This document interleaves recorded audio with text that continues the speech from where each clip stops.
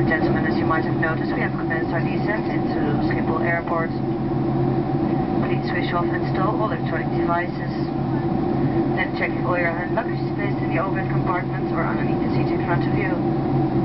Passengers on the front row and at the emergency exits should place all their hand luggage in the luggage bins.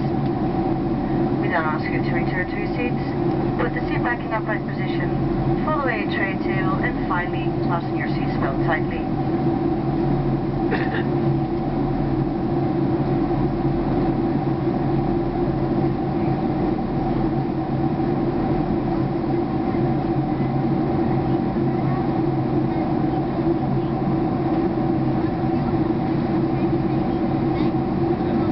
Cabin crew, landing in 10 minutes.